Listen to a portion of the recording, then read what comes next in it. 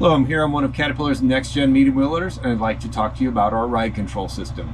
Caterpillar's ride control system on our next gen loaders, as well as our M series, is a dual accumulator ride control system. It means you have a pre-charge both for an empty bucket as well as a full bucket.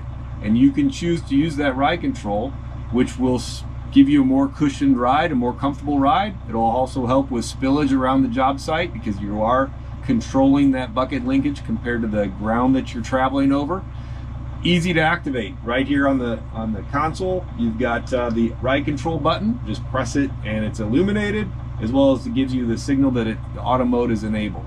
Now that's one way you can engage that. Another way is it is actually tied to our application profiles. And so under the profiles you can see under a load and carry it is automatic ride control mode as selected.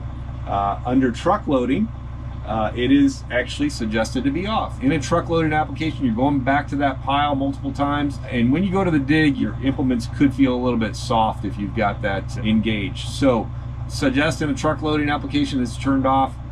When would you maybe want to change that activation speed? So, let's say you are in a uh, load and carry and you want that activation speed to come on a little bit faster. You can see the defaults here are six miles per hour. You can adjust those.